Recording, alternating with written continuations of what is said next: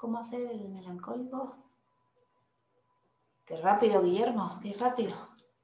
A ver, saludos a todas y a todos. Estamos ya conectando en este webinar que en esta ocasión nos lleva a hablar del duelo y la melancolía, un texto de Sigmund Freud del año 1915, publicado en 1917. Estamos ya transmitiendo también desde Facebook, además de todas las personas que se han inscrito a lo largo de, este, de estas semanas para, verlo a través de, la plataforma Zoom.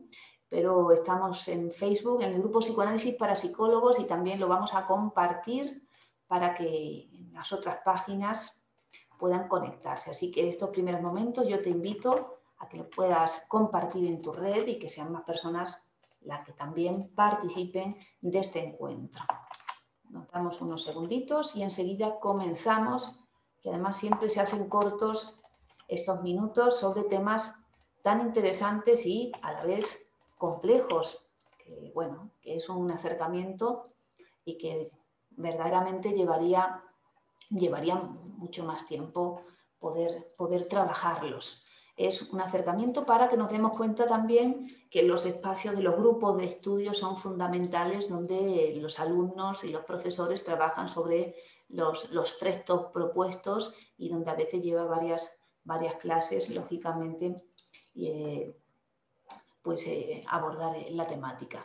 Bueno, ya puestos en situación, agradecerles estar un día sábado acá interesándose por el psicoanálisis interesándose por el estudio. Muchos son profesionales de la salud, psicólogos, psicoanalistas o especialistas en, estos temas que, abordan el bienestar y los procesos de enfermedad también de, las personas y muchas otras personas que, bueno, que sin ser profesionales pues están interesadas en conocer más sobre, sobre estas patologías y también sobre lo que el psicoanálisis nos aporta. Si nos vamos al, texto, yo me he servido para la clase de hoy de un libro muy interesante que les voy a mostrar, si ustedes me permiten.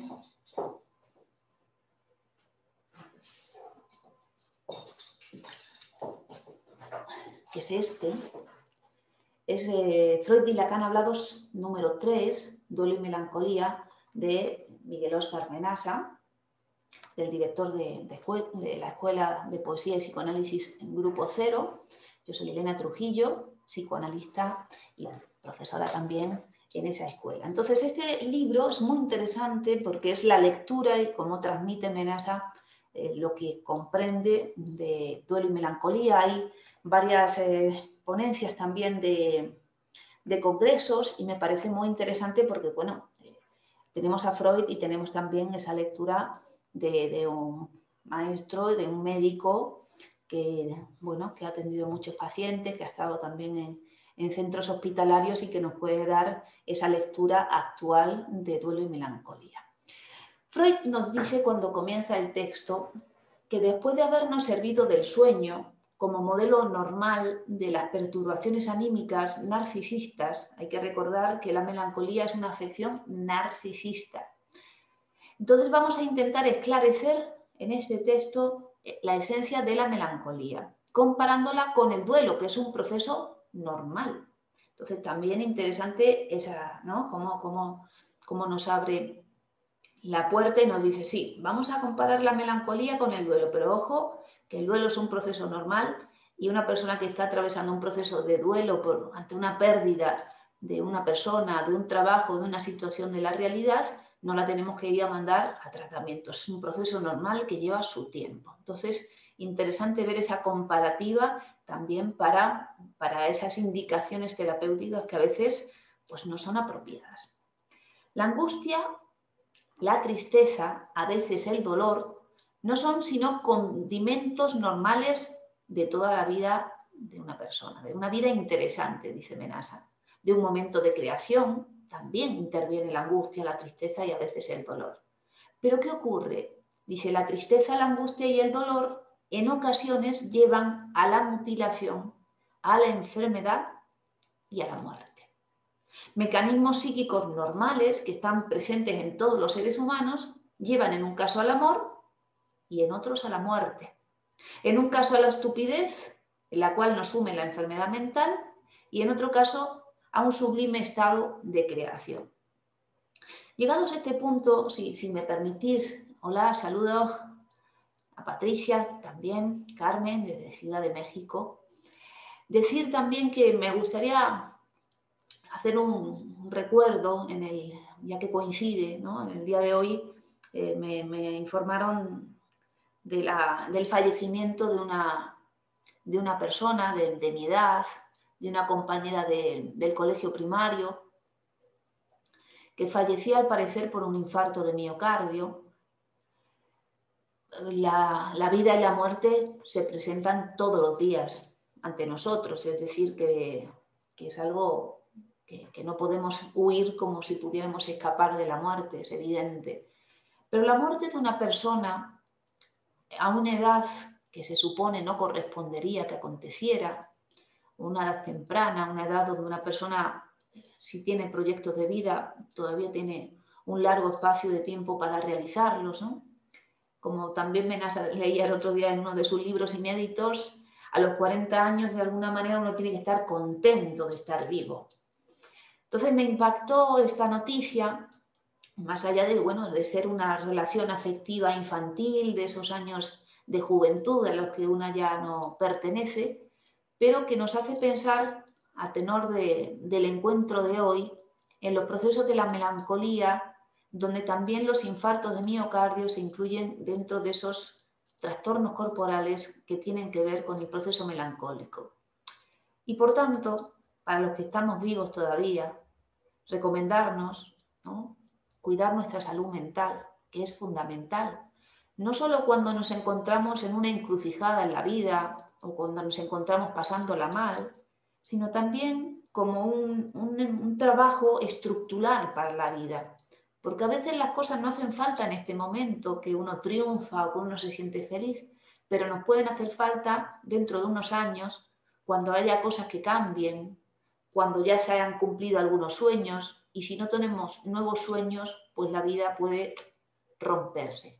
Así que sirva de homenaje y recuerdo a los que nos dejaron antes de tiempo, pero sobre todo sirva de, un subrayado para todos aquellos que estamos vivos y que queremos seguir estando vivos, de que es muy importante cuidar la salud mental y trabajar para la salud y trabajar para el futuro. Cuando hablamos de melancolía, dicho esto, siempre estamos hablando de uno mismo. Dice, porque el que más o el que menos ha perdido un objeto amoroso en su vida, ha perdido un ideal, ha perdido un sueño, algo no le ha salido bien, algún amor se terminó. Es decir, que, hemos tenido que cambiar de ciudad, de país, eh, un desengaño en la familia.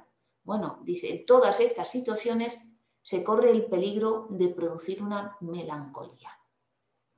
El estado de la melancólico se puede desencadenar no solo frente a la pérdida de un objeto, de un objeto amado, una persona amada, también dice frente a la no coincidencia de lo que quiero del objeto, es decir, que la persona a la cual yo le atribuyo esa, esa relación amorosa no me dice o no hace lo que yo espero.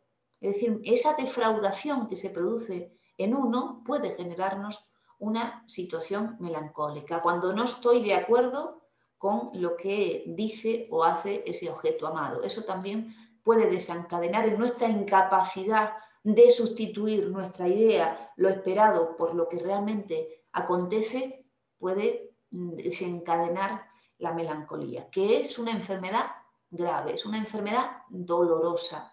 Dice, prácticamente se pierde todo contacto con la realidad. Semejante a la melancolía, aunque con bastantes diferencias, está el duelo. La diferencia es que el duelo se produce por una pérdida real de un objeto amoroso, por ejemplo, la muerte, la separación.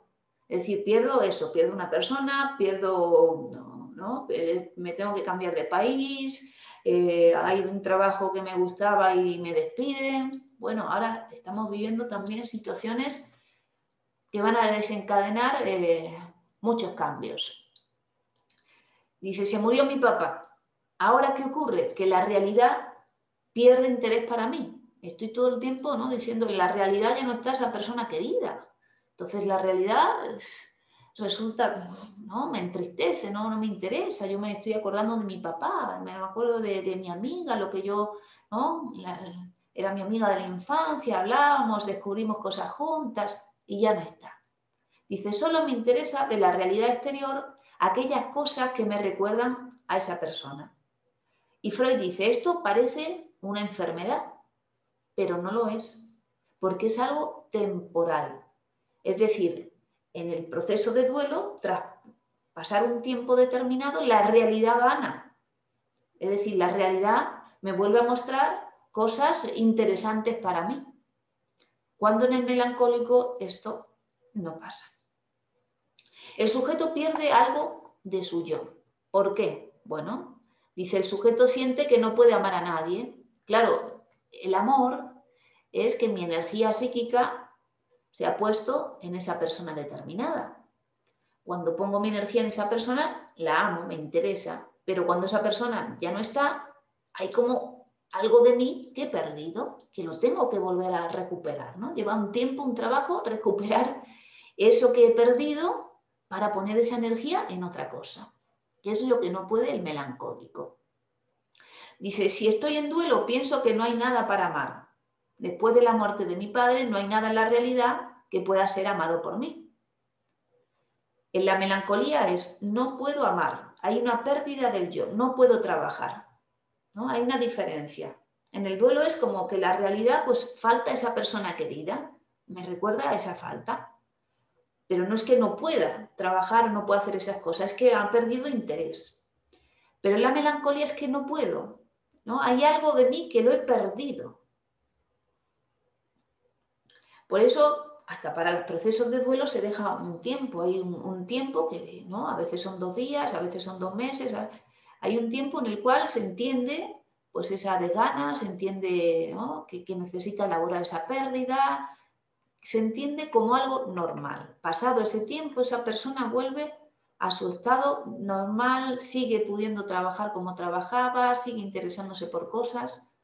¿Mm? Dice, no es que no pueda trabajar, no es que esté enfermo en el duelo, sino que la realidad ha perdido su interés para mí. Pero en cambio, en la melancolía aparece algo muy interesante, que es el autorreproche. El paciente melancólico, el paciente deprimido, habla mal de sí mismo, eh, se siente indigno, tiene fantasía de ruina, de empobrecimiento, de miseria. A esto Freud le llama autorreproche, es decir, el yo se reprocha cosas a sí mismo. En el duelo esto no pasa. Dice, la persona que está atravesando un proceso de duelo no siente una disminución del amor propio, no se siente responsable de la muerte de la otra persona, no se siente responsable de haber perdido su trabajo. responsable ha sido, bueno, había un problema en la empresa, había una crisis económica, bueno, se terminó, me fastidia, me pongo triste, se me cambian los planes, pero ¿no? se siente indigno, no siente que, es, que es, el causante de eso. Dice, no necesita autodespreciarse, cosa que aparece en la melancolía. Entonces, unos elementos también para el diagnóstico es la presencia del autorreproche, la disminución del amor propio. Dice, el melancólico no se conduce como un individuo normal, agobiado por los remordimientos. No, carece de pudor. Dice esas cosas de sí mismo y le da igual. Los hace público normalmente, y todos tenemos defectos, pero los defectos uno no los va mostrando por ahí. Normalmente los oculta, los maquilla, los disfraza, los compensa. El melancólico no tiene pudor. Te dice que no sé por qué estás conmigo, no sé por qué me quieres, es que no valgo para nada. dice una serie de cosas y te la dice a la pareja, se la dice a tu amigo, y dices, pero ¿cómo me dices eso? Eres mi amigo, eres mi pareja, yo te quiero porque tiene muchas cualidades para querer. Y siente que no, que no tiene ninguna de esas cualidades. ¿No? Entonces, ¿qué nos hace pensar esto? Dice que no habla de sí mismo.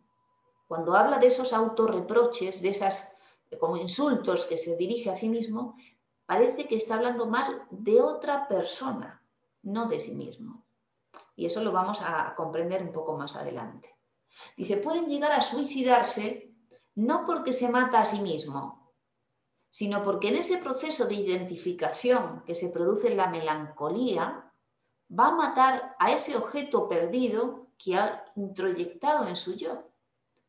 Ese, ese, objeto que estaba en la realidad, que uno había puesto su, deseo, su energía psíquica y que desaparece o que nos defrauda, decíamos en el duelo tengo que volver a recuperar esa energía y ponerla en, en otra cosa.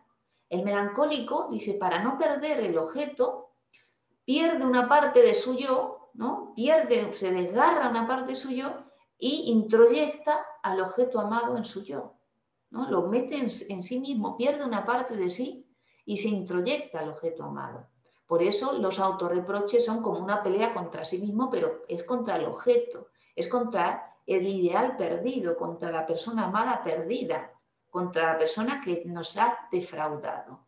Y pueden llegar a esa gravedad y por eso la melancolía es una enfermedad muy grave, que es el suicidio, que es quitarse la vida, pero es para eliminar a ese objeto amado, ese, ¿no? el, borde de ese sadismo que se, que se lleva a cabo en sí mismo, pero para eliminar al objeto amado.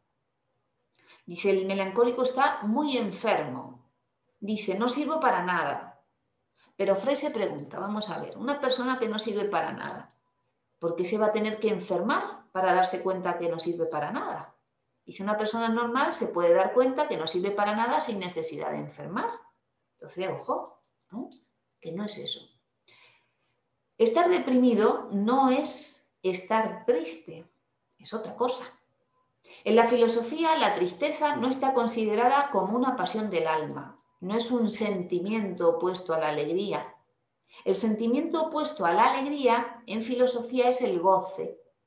Es decir, que la alegría es lo opuesto al goce. La tristeza, en cambio, no tiene opuestos en filosofía, es un sentimiento en apariencia único. Tenemos que discriminar entonces el duelo de la melancolía y el duelo y la melancolía de la tristeza. Dice, no es ningún tipo de enfermedad la tristeza. Así que nada de porque un día hace uno triste, digo estoy enfermo, no. Dices que algo he comprendido. El día que estoy triste es que algo se ha abrochado en uno. ¿no? Uno que es un animal, es una bestia, que se tiene que reproducir por sexuación, que además dice que es eh, algo universal, que nos amamos para parearnos, ¿no? como los caballos, como las vacas, ¿no? que, que es como si uno se diera cuenta de ese fin, de ese límite de la vida humana, de algo de la mortalidad. ¿no? Me di cuenta que hay días del futuro donde yo no estaré. Hay una comprensión, pero no es una melancolía, es una comprensión. ¿Mm? Dice, hay dos momentos fundantes en la constitución del sujeto psíquico, que tienen que ver con dos faltas, dos carencias del humano. Una carencia Dice, significa que yo como sujeto ingreso al mundo de la cultura, al mundo del otro con mayúscula, al inconsciente, al lenguaje. En ese mundo existe primero el lenguaje y después yo. El lenguaje estaba antes que yo. Fíjense qué pequeñito que soy. Existía todo y yo vengo y me incluyo en eso. ¿No? Pequeñito, pequeñito. Dice, entonces a mí me falta eso que siempre me antecede. A mí me falta eso que me marca como sujeto voy a carecer cada vez que hable. El lenguaje me anticipa como sujeto. Entonces yo hablo y después de hablar sé. Antes no sé lo que voy a decir. El lenguaje me anticipa. Y la otra carencia es que con el acontecimiento significante de la reproducción sexual, con el complejo de Edipo, con la sexuación, el hombre pierde la gracia de la inmortalidad. La sexuación, el complejo de Edipo, ese elemento estructurante de nuestro aparato psíquico, instala en nosotros la mortalidad. Entonces ahí hay dos momentos de carencia que uno tiene que, simbolizar. Y eso produce una tristeza. Interesante también porque el melancólico no tiene por qué saber que ha perdido. A veces dice que me, se separó mi marido de mí, se rompió, no me tuve que cambiar de país, pero a veces no sabe lo que ha perdido. Ni siquiera sabe a quién perdió. Dice, si llegara a saber a quién perdió, lo que no sabes, lo que permanece inconsciente en él, es qué cosa ha perdido que le ha producido esa enfermedad. Llega a decirme Nasa, un ejemplo ahí, dice, una mujer que perdió a su marido, que perdió un familiar, no se enfermó. Un día, pasado muchos años, pierde un escapulario que tenía de la madre y se enferma. Es decir, que es algo significante en el sujeto. No es una pérdida en la realidad. Hoy una de mis compañeras en Facebook ponía que un descubrimiento para ella fue, eh, respecto al psicoanálisis, entender que no es el trauma, que no es esa, esa idea de que hay algo traumático que va a ser el que ocasiona el desarrollo de, los trastornos neuróticos, que lo traumático en el hombre es como hemos dicho, esa carencia, ¿no? Es que, somos, que el lenguaje nos antecede, que somos seres sexuados, que somos seres mortales, ¿no? Es decir, que esa condición que es universal, que todos tenemos que simbolizar, a unas personas les resulta traumático, ¿no? Les resulta difícil de elaborar y entonces como si no hubieran podido aceptar eso. ¿no? Porque luego la salud tiene que ver no con que te dejen de pasar procesos. Empezamos el texto y nos decía que la depresión, que la melancolía es algo que nos puede pasar a todos. ¿no? Quien no ha pasado por una época en su vida que ha bajado un poco ¿no? y que, ¿no? que había modificado algo anterior y que le lleva un tiempo recomponerse. Eso nos ha pasado a todos. Pero claro, nos lleva un tiempo. Luego tienes que recomponer tu estructura libidinal y tienes que poder interesarte por otras cosas y poner otras, ¿no? otras relaciones en tu vida que, que fundamenten eh, tu, tu, psiquismo. ¿no? En tanto el psiquismo, si no hay relaciones con los otros, ¿cómo se va a sustentar? Entonces, interesante también separarnos de esa idea de la realidad, de esa idea de la experiencia como ocasionante de los sucesos. Ahí también, si decimos que la depresión, que la melancolía está muy relacionada con el cáncer como proceso patológico orgánico y que es, un, que, que es fundamental, volviendo a lo que decíamos unos renglones más arriba, cuidar la salud mental, está fundamentado por muchos estudios ya que no es que el proceso canceroso produzca depresión en el sujeto, sino que el cáncer, que es además la mutación celular que acontece en todas las personas, hay ataques de células que, no guardan el orden biológico y que quieren invadir otros espacios, pero hay mecanismos celulares en nuestro sistema inmunológico que atacan a esas células que no quieren conseguir la ley, la ley de nuestro organismo y las atacan y las destruyen cuando ese sistema inmunológico está en plenas condiciones. Es decir, cuando el sujeto está en un estado de plena salud, tiene un mecanismo intrínseco que, que le protege. ¿Qué ocurre? Que cuando hay un proceso de melancolía, que, es interesante porque estamos diciendo la melancolía no es estar triste, la melancolía no es llorar, sino la melancolía se caracteriza por los autorreproches, por la pérdida de las expectativas de futuro, por la incapacidad de, amar, por una serie de elementos que vemos que esa persona antes podía y ahora no puede ciertas cosas. Además, no te sabe decir qué es lo que le ha pasado, qué ha perdido. Entonces, hay en muchas ocasiones que se puede, se puede ver esos cambios en el sujeto y se le puede recomendar o nos podemos recomendar comenzar nuestro proceso psicoanalítico, es decir, trabajar eso que nosotros eh, se instala como una carencia, ¿no? no puedo rehacerme de algo que me falló, no puedo rehacerme de una pérdida que yo creía que iba a estar toda la vida con ese hombre y resulta que no fue así y sigo pensando en ese hombre, sigo pensando en ese hombre, sigo pensando en ese hombre. Entonces hay que poder psicoanalizar esa incapacidad que tengo de sustituir algo que ya no está por otra cosa que esté en la realidad. Entonces veíamos que era algo narcisista la melancolía y que era también una, un distanciamiento de la realidad, había una pérdida de la realidad. Interesante esa cuestión y muy importante recalcar eso, que está implicada la depresión en graves enfermedades. Ya hemos dicho el infarto, ya hemos dicho el cáncer. Muchos de los accidentes de trabajo se producen en personas, eh, que también está reseñado en varios congresos, dicen personas que justamente eh, les han anunciado que van a ser despedidas o que no saben si el mes siguiente van a estar trabajando, personas que están en unas condiciones de, inseguridad, una condición que no puede, no puede, ¿no? puede estar eh, con toda su energía psíquica puesta en el trabajo, ¿no? personas que ya están decaídas.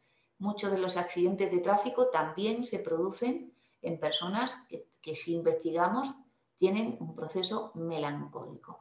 Porque si no, no podríamos darnos cuenta de que en la persona sana hay mecanismos que nos ayudan a protegernos, porque tendencias eh, hostiles las tenemos todas.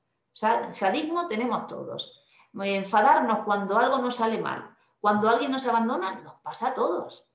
Pero uno lo puede decir, uno lo puede expresar, uno se puede tomar un, un tiempo de duelo, de elaboración, de tristeza y luego me recompongo y sigo.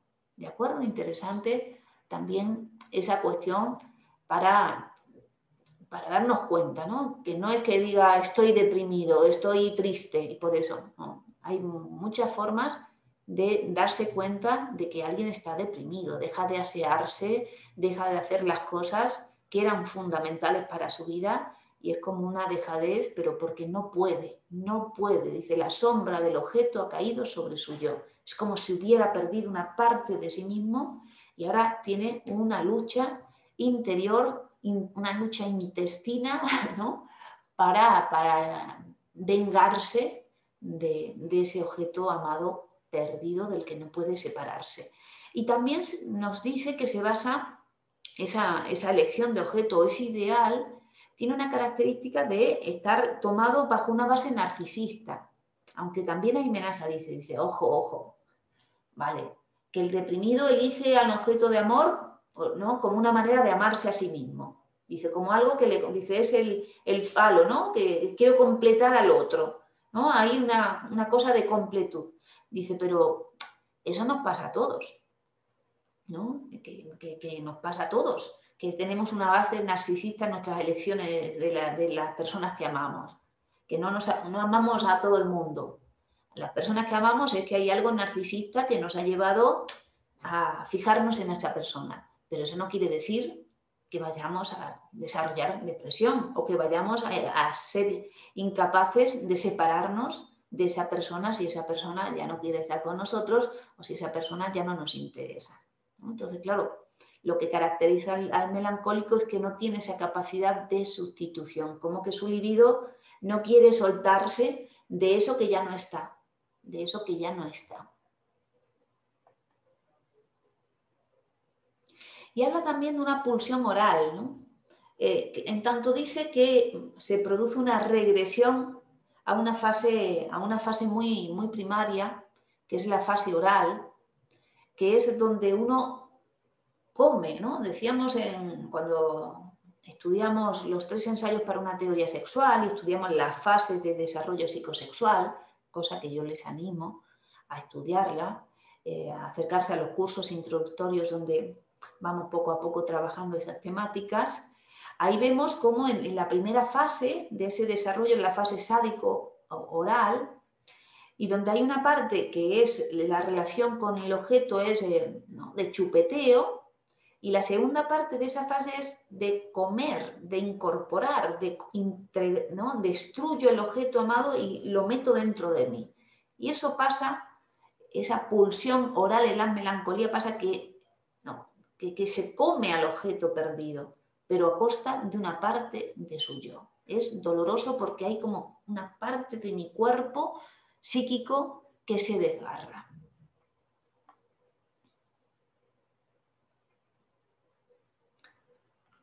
Dice, la melancolía se traba en múltiples combates aislados alrededor del objeto, combates en los que el odio y el amor luchan entre sí para desligar el libido del objeto, y el amor para evitarlo.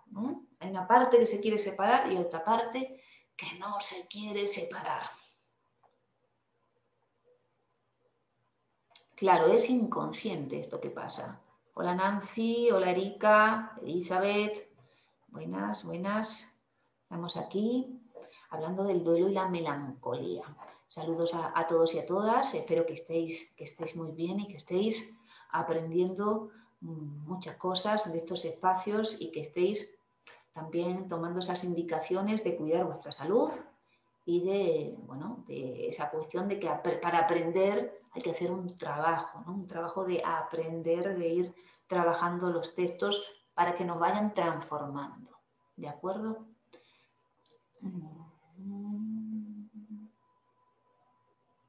Claro, muy interesante. Dice, el objeto perdido que me sumerge en la melancolía es aquel que al desprenderse de mí me saca de la posición en donde yo lo completaba al objeto. De tal manera que era lo que a él le faltaba. Es decir, si yo puedo decir que yo soy la falta. Es decir, que cuando estaba ese objeto amado, además como una cosa también idílica, ¿no? porque ninguna relación es así, es perfecta, sino e, es una cosa inconsciente, pero era como que ¿no? yo completaba al otro, yo, era, ¿no? yo lo hacía perfecto en esa atribución inconsciente. Cuando el otro se ausenta, pierdo eso, pierdo esa, ¿no? esa, ese, lugar de fálico, de, completud, ¿no? que además es lo que resulta doloroso. Si decimos que en el proceso de, de la castración el complejo de Edipo, de lo que se trata es de dejar de atribuir a la madre esa completud que el niño le da, la madre fálica, que, fálica que es, no es que tenga pene, fálica es que el niño le atribuye a ese lugar, a su mamá, una completud, ¿no? ella puede todo lo que yo no puedo. Hay un lugar donde hay algo que me completa, cosa que en esa, ¿no? hemos dicho, en esa rajadura que introduce en nosotros la sexuación, la, necesidad de, esa prohibición del incesto, la mortalidad, eh, la amenaza que nos, marca también la existencia de una ley que, regula las relaciones, que regula que, el hijo es el hijo, el padre es el padre, la madre es la madre, que regula los lugares. Dice, claro, es una, ¿no? Tengo que dejar de hacer fálica ese lugar no es que cortarle, castrar al, pene del niño, es castrarla a la madre. Es que la madre deje de ser la madre totipotente y sea una mujer.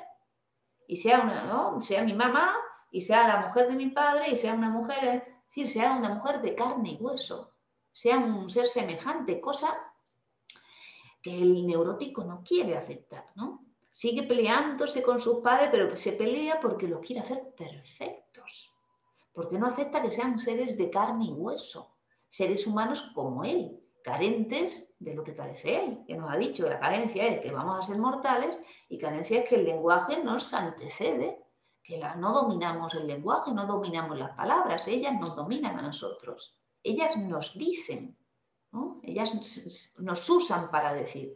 Entonces es muy interesante cómo, cómo, la normalidad, cómo la salud tiene que, poder tolerar eh, toda esa modificación de nuestro narcisismo infantil. Porque el narcisismo es necesario para la vida, para sustentar nuestra vida, para proteger nuestra vida. Pero claro, un narcisismo ya modalizado, legislado, un narcisismo donde ya eh, mi mamá no va a ser completa, o el profesor no va a ser completo, o mi persona amada no va a ser completa o perfecta. No es lo que yo necesito. Es una persona que está ahí y que puede dejar de estar y tendré que buscarme otra persona. ¿no? Ese orden de entender que nos separamos y nos unimos, nos separamos y nos unimos, nos separamos y nos unimos. ¿De acuerdo?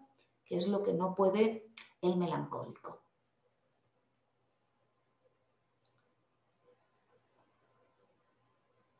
También otra indicación eh, para el tratamiento de la melancolía, para aquellos profesionales que que se encuentren con, pacientes melancólicos, dice, la melancolía exigirá el tratamiento psicoanalítico que nadie se meta con la vida del paciente. Es decir, que si en las otras enfermedades se aconseja que todo el tratamiento sea realizado en el nivel de la transferencia, es decir, que nunca nos tenemos que meter con la vida del paciente, que nos tenemos que ocupar de la relación transferencial, ocupar del tratamiento, dice aquí la melancolía es una prescripción. Es decir, son personas muy sensibles. No hay que meterse con la vida del paciente. No hay que decirle, ¿no? Salga a la calle, haga no sé qué, no hay que meterse con la vida del paciente. Y dice Menasa también para siempre con ese ánimo constructivo. Dice, el estado de depresión melancólica es muy habitual, porque todo momento de completud, en tanto no persiste, trae consigo una depresión. Nos vamos de fin de semana, esta noche nos vamos de fiesta. Pero es que por muy bien que yo me lo pase, me lo paso bomba, pues van a cerrar el chinguito, me voy a tener que ir a casa, me tengo que separar de mis amigos. Entonces ahí hay un momento ahí de separación que hay ciertas personas que no lo pueden tolerar. Es más, hay ciertas personas que no pueden salir porque luego tendrían que volver.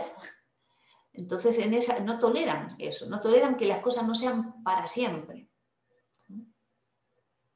Dice, hay chicas que cuando tienen orgasmo lloran, pegan y patalean, pero no porque no les guste el orgasmo, sino porque después va a haber una depresión. Dice, es el tiempo del inconsciente, es ese instante que se abre y se cierra, por lo tanto se goza, se muere y se ilusiona la completud. Lacan llega a decir, paso de ser la falta del otro a faltarle. Y de ahí viene todo el sentimiento de ambivalencia. Paso de ser la falta del otro a sentir que le falto, pero en un sentido moral, de cometer como un pecado, una injuria. Y nos dice, está de moda la depresión porque tiene algo de egoísta, tiene algo de la individualidad burguesa. Entonces también tenemos que revisar la sociedad en la cual vivimos, con las ideas que tenemos. Que, tenemos unas ideas que creemos, nos creemos dioses del mambo, nos creemos que ya hemos conseguido todo, creemos que no hay futuro, que ya estamos todo perfecto. No, hay una cosa en la sociedad burguesa que, piensa que es para siempre, que no se da cuenta que a lo largo de la historia del hombre ha habido distintas formas de estructuración social, distintos eh, momentos históricos, distintas organizaciones morales e ideológicas, y es como si la burguesía dijera, ¿no? Hemos llegado hasta aquí esto es para siempre. Pues nada es para siempre. Los objetos perdidos deben sustituirse. Ese es el aparato psíquico, esa es la normalidad. Cuando alguien les pregunte qué es ser normal para el psicoanálisis, les dicen reemplazar todo lo que se pierde. Cuanto más rápidamente, mejor, porque de esta manera intento ganar rápidamente lo perdido. En estos días hubo un post que, puse que generó, ¿no? Ha habido ahí varios posts con, mucho interés y con polémica también. Y bueno, porque hay como un afán de completud, de que me lo den todo, de, no pensar y que me lo den todo hecho, ¿no? hay que tolerar que hay cosas que no están completas o que se tengo que seguir buscando para completar o que tengo que saber esperar la siguiente frase, ¿no? Y hay como una pelea, ¿no? Porque ahora se peleaban con el término normal, no les gustaba la palabra normal. Entonces, ¿cómo va a ser normal? Normal, loco, loco, la palabra loco, loco. Entonces hay mucha intolerancia a las palabras, ¿no? debe ser porque algo significan para uno. Porque claro, la normalidad existe.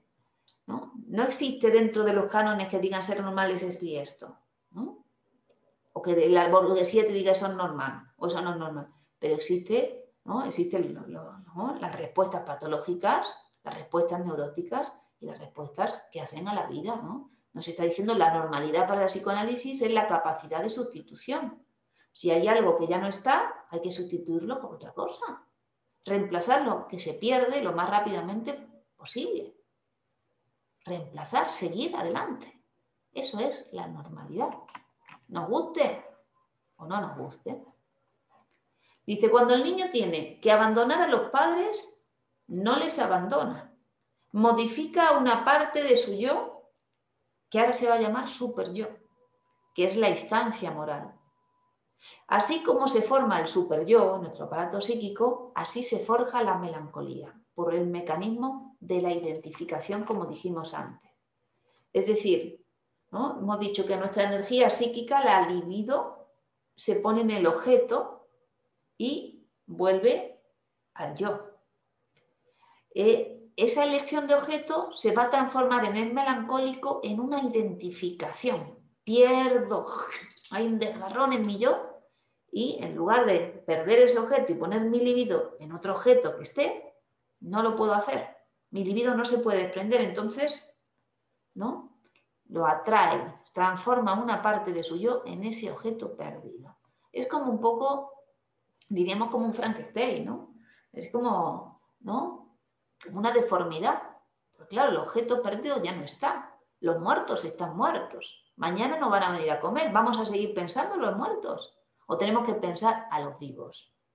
También es esa cuestión, ¿no? Que no nos gusta ocuparnos de la muerte. Queremos ensalzar a los muertos.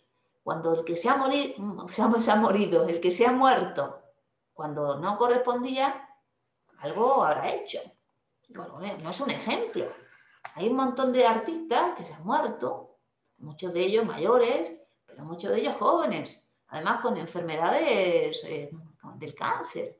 Pero vamos a ver, estamos diciendo que ya hay un montón de libros y de investigaciones que relacionan que el cáncer es una enfermedad que se produce a través de la depresión. Entonces, ¿cómo, cómo va uno a presumir de la frase que dice una persona que se está muriendo por su depresión? Una persona que, se está, ¿no? que nos está hablando de un narcisismo que no puede doblegar. Entonces no puede ser un ejemplo. No puede ser un ejemplo. El ejemplo tiene que ser una persona más grande, más pequeña, pero que viva, que esté dispuesta, ¿no? que le derrumban su casa y se la vuelva a construir. Esa es la normalidad, la persona que trabaja para seguir viviendo, que sabe sustituir, que no llora al pasado.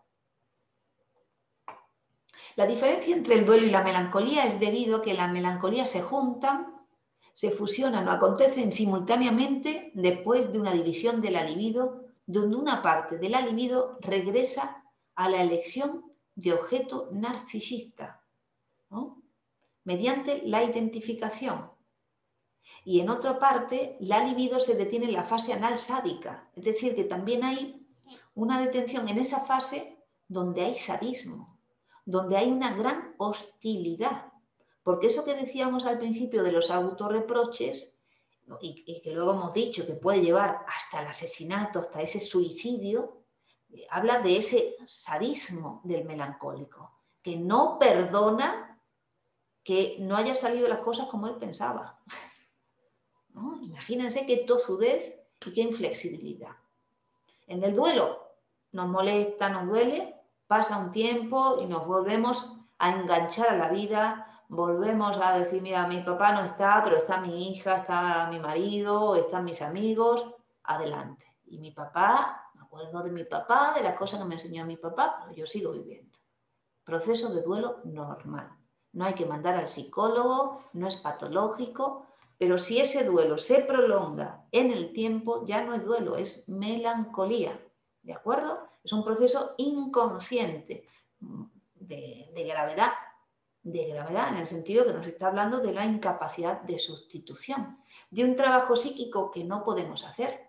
Porque la sustitución, ¿qué es? Trabajo psíquico de que esa energía psíquica que se tiene que poner en la realidad, en los objetos, para hacerlos parte de nuestro aparato, esa capacidad de amar, la tenemos estropeada. Es una capacidad de amar que, como decimos, elijo al objeto para completarlo, para, ¿no? para mi narcisismo, no para amarlo. Porque el amor permite las separaciones. El amor se alegra, aunque tú te separes de mí y no estés ya conmigo, pero si estás feliz, yo me alegro. Yo no te dejo de amar porque ya no estés conmigo. Dicen que, que, es, que ese amor del melancólico no es amor. No es porque llore mucho porque tú me faltas, es porque yo te, ¿no? Te hacía necesario para mí, yo te usaba y ahora me he quedado cojo, se me ha estropeado el planning.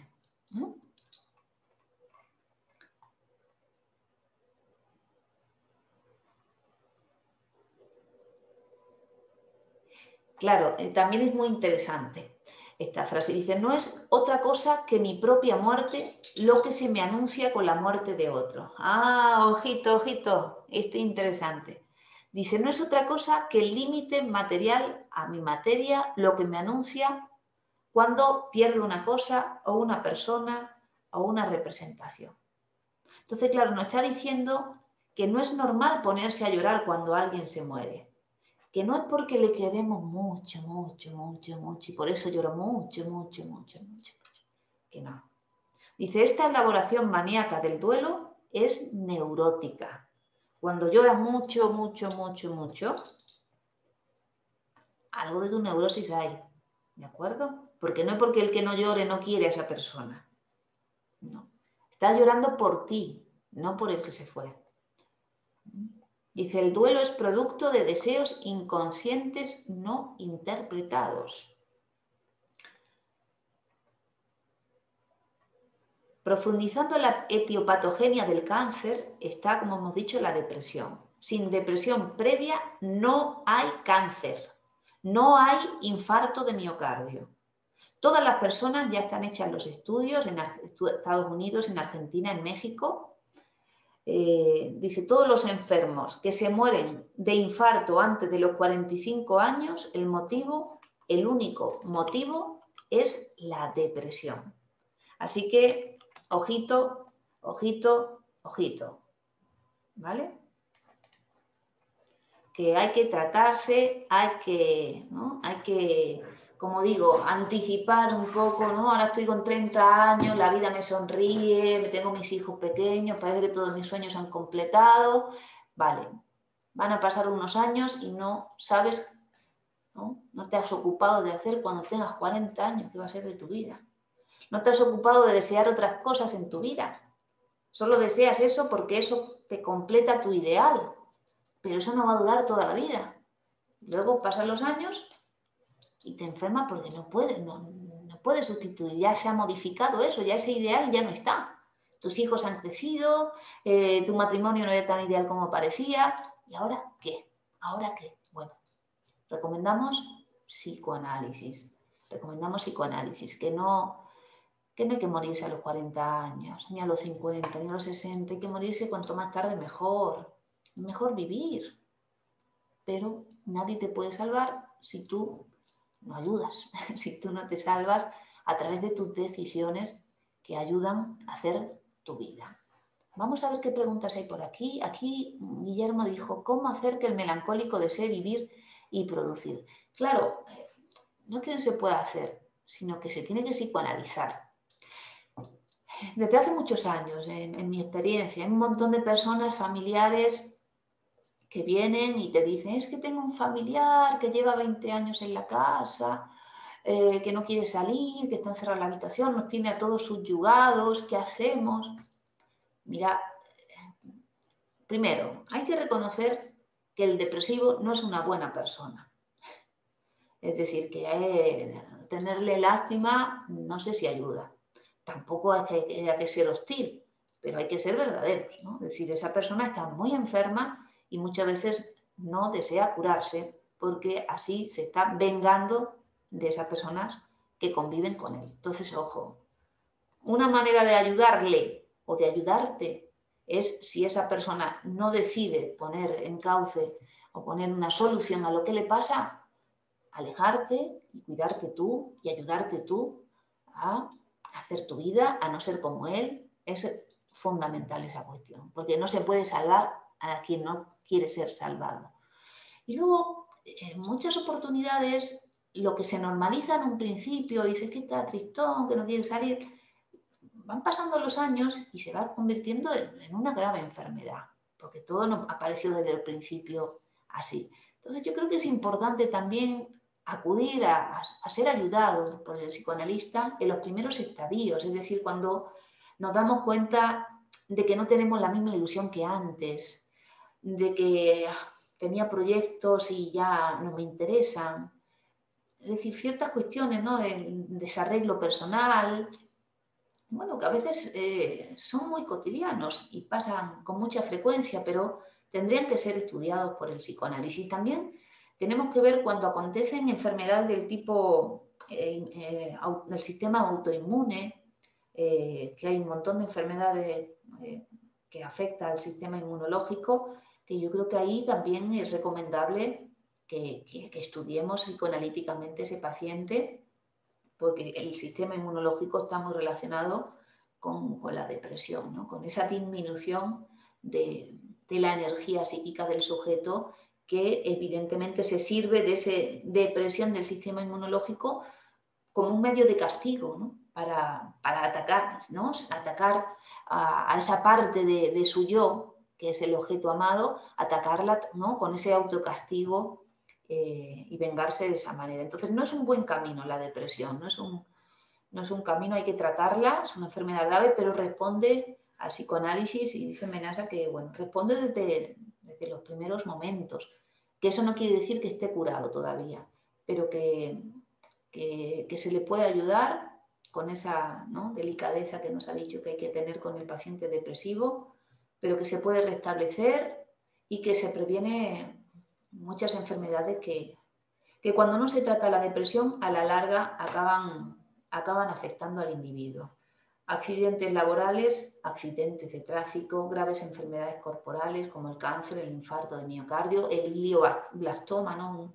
un, cáncer fulminante que afecta al cerebro. Hay, hay muchas, eh, muchas eh, formas de, expresión de esta pulsión de muerte que utiliza como autocastigo el melancólico. A ver, por aquí hay una pregunta, sí. A ver, a ver. Quisiera preguntar cómo deberíamos actuar para no llegar a tener melancolía cuando una persona es abandonada por su pareja. Bueno, ahí nos lo ha dicho Menasa, sustituir. Claro, eh, dice, en realidad cuando una persona ama, cuando una persona está enamorada, verdaderamente, es decir, que no es narcisismo, sino que es amor, dice, es fácil sustituir una persona por otra. Es decir, que moralmente decimos, mira, se separó y ya está con otra, y ya está con otro. Ah, vaya si lo quería. Eso es la moral. Pero psicoanalíticamente diríamos, verdaderamente quería a la otra persona, es decir, era una persona enamorada. Como es una persona enamorada, una persona que ama, le es fácil sustituir a un objeto por otro objeto, porque su posición de amor está, no se la da al objeto, la tiene. Entonces, Claro, puede ser amar a una persona o amar a otra, pero puede ser, ya no estoy casada y me pongo, ¿no? Y me intereso por el trabajo, me intereso por las amistades, me intereso por otras. Es poner nuestra energía psíquica fuera de nosotros. La libido es la energía sexual, la energía de nuestro psiquismo, que nos permite relacionarnos con el mundo, que nos permite vivir y que cuando la tenemos puesta solo en nosotros, nos enfermamos gravemente. Enfermedad narcisista, esquizofrenia, depresión. Graves enfermedades. Quitan los lazos eróticos con los objetos de la realidad, lo introyectan al yo. Graves enfermedades que se producen ahí. Totalmente falta de energía para la vida. ¿Para qué eso no ocurre? Nuestra energía tiene que estar fuera de nosotros. Si no está Pepito, fulanito. Si no puedo saltar, caminar. Si no puedo salir a la calle, me ocupo sustituir por otra cosa, sustituir por lo que se pueda. Ese es el camino. Si queréis un consejo, ese es el consejo. Y cuando no puedo sustituir, cuando nada me interesa, cuando todo es una losa, necesito psicoanálisis. Ningún consejo me va a ayudar. Hemos dicho que no hay que meterse en la vida del paciente. Al paciente le han dicho 20 veces Sal, que hace una tarde muy bonita. Mira, pero tu novia es preciosa, ¿por qué no, por qué no te alegra verla? Es que no puede. Tenemos que entenderlo, no puede. Tiene una lucha en su interior. Está luchando la vida y la muerte.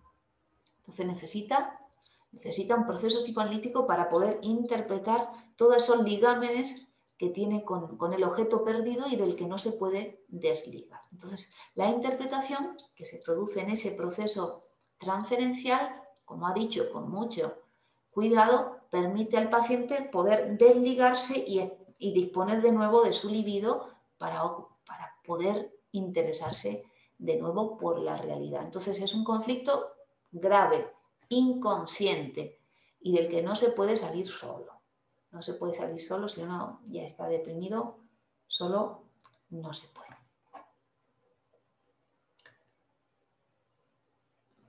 Es budismo una de las causas del sufrimiento en, budismo una de las causas del sufrimiento es la ilusión de la permanencia, lo mismo dices en otro lenguaje. Claro, hay que incluir la muerte, hay que incluir los, los finales, hay que incluir, porque además finales es como hay pacientes que también le molestan los finales de las sesiones. Ay, pero qué corto, ay, pero ya, como sienten que le echas de la consulta. Pero claro, son, es necesario porque son representaciones que, todo se produce porque tiene que ser así. Es decir, que, hay que incorporar en nuestra vida esa presencia simbólica de la separación. ¿Para qué? Para que pueda haber encuentro. No hay encuentro si no hay separación. Si no puedo introducir la mortalidad, la separación, es que todavía estoy con mi mamá. Todavía no he salido de esa, relación narcisista con mi mamá. Entonces la reproduzco. Ahora quiero que el psicoanalista me lo dé todo, que me escuche todo, que quiero que mi pareja esté todo, todo, todo, todo. No, hay que romper eso. ¿Por qué? Porque la vida se va haciendo a lo largo de los años. Los amores se van haciendo a lo largo de los años. El psicoanálisis se va haciendo a lo largo del tiempo. Entonces es una sesión, otra sesión, otra sesión, otra sesión. Es en ese, interludio, en ese proceso de separaciones y, encuentros. Ahí donde se produce la vida y ahí donde nos vamos transformando y ahí donde representamos en nosotros la mortalidad. No blegar el narcisismo, eso es muy certero.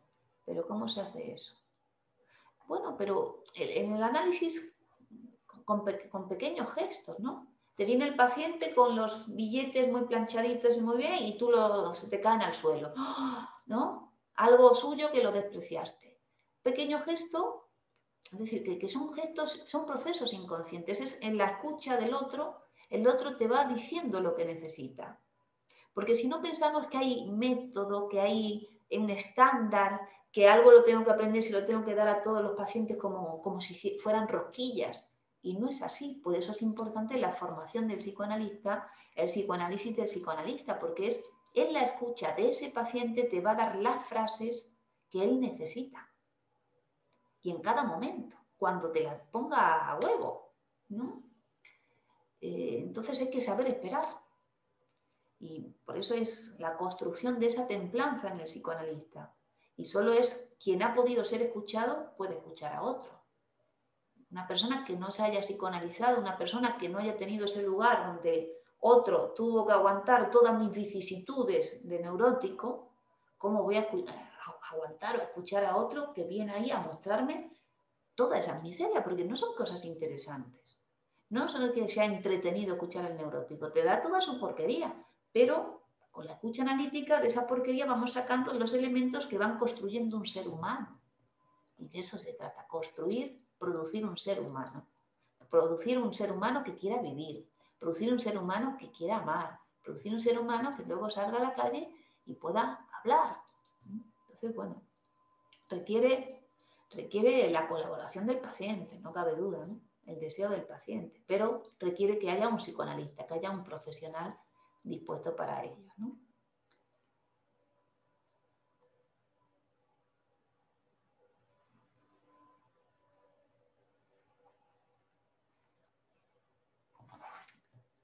No sé, yo diría que hay personas que se pelean, ¿no? Que se pelean con el mundo, que se pelean con la escuela, que se pelean con mamá, que se... ¿no? Como que sienten que no están satisfechos con lo que consiguen. Es decir, siempre sacan lo malo de todo, pero no son capaces de ver lo bueno. Es decir, no son capaces de ver lo bueno que hizo el otro por ellos, no son capaces de ver lo, bueno que, hizo el psicoanálisis por ello, no son capaces de ver lo bueno que hizo el otro cuando se separó de nosotros. Entonces, claro, no tengo que poner en duda al otro, me tengo que poner en duda yo. ¿Qué me pasa a mí? Que nunca veo lo bueno de la vida, que nunca veo lo bueno del trabajo, que nunca veo lo bueno de, mi proceso psicoanalítico, siempre veo lo, lo que no me da. Bueno, está hablando de ese narcisismo que no puedo constituirme como un sujeto carente, que es lo que somos todos, ¿no? Si no fuéramos carentes, ¿para qué íbamos a trabajar? ¿Para qué íbamos a hablar? Si ya lo tenemos todo. Pero claro, eso pasa en eh, la, célula narcisista infantil. Cuando nos separamos de eso, en nuestra vida nos faltan muchas cosas. pero están en el mundo. Si hacemos un trabajo, ¿no? podemos ir conquistando esas cosas. Entonces hay que, hay que tener la amabilidad de tomar lo bueno de los demás, porque los demás están ahí para darte sus, sus, conquistas, para darte sus frases, para que tú las hagas tuyas. Entonces, si no eres capaz de enriquecerte con los demás, eh, replantéate ese empobrecimiento donde tú quieres completar todo sin nada de fuera. Eso no, no puede ser. Bueno, nos tenemos que despedir. Es la hora, mis compañeros de poesía y flamenco están en el Teatrillo Grupo Cero en acción. Eh, empezaron a las, hace media horita, me incorporo enseguida para estar con ellos, con el Miguel Oscar Menasa, el, director del Grupo Cero, nuestro gran maestro que, que sigue en activo en este año de sus 80 cumpleaños. Seguimos próximamente en el nuevo webinar que vamos a trabajar, a ver si les digo la fecha, que está por aquí. Aquí. El próximo es el problema económico del masoquismo, el día 12 de diciembre. Nos vamos de vacaciones navideñas con el masoquismo. Así que bueno, les espero. Compartiré el enlace para que, para que se puedan inscribir y seguiremos eh, compartiendo estos espacios y les deseo bueno, que tengan un feliz sábado, un feliz fin de semana y que nos sigamos encontrando en estos espacios y les recomiendo, si todavía no han comenzado su psicoanálisis, es una buena decisión. Ahora, más que nunca. Muchísimas gracias a su disposición y gracias por compartir en este vídeo. Cuanto más seamos, mejor. Un saludo y hasta la próxima. Muchísimas gracias por compartir estos minutos conmigo.